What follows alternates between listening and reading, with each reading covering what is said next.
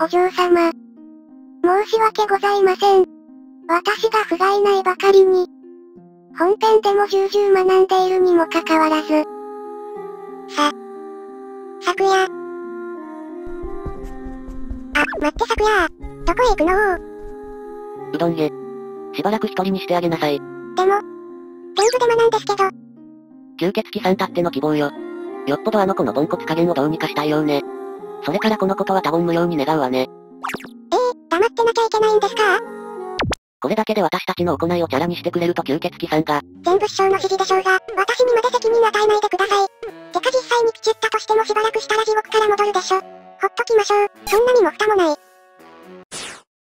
というわけで一日だけでいい。この私をかくまう権利をお前たちに与えてやる。もっとバリエーション豊かに死ねとは言いましたがよもやそのような理由でここに来ようとは。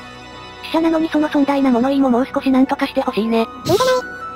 なんなら私は3年半続いてるここの紙芝居で最も子さんで出演数多いのに未だに一度も口ってないんだぞ。どうだすごいだろそんなこと知りません。あ、河川、ドキー。せっかく昨夜の構成依頼出したのにこの様はなんだめ、面目ないです。ゲゲーお、お嬢様。お久しぶりですねレミリアさん。なんでこんなところに。お前こそなんでまだ口ったままそれが迫力楼で爆発に巻き込まれてで戻りでして。手に負えん奴らばっかだなあもう。他の動画を見たい方は動画説明欄かこちらから見に行くといいでしょう。高評価チャンネル登録しなければお説教ですからね。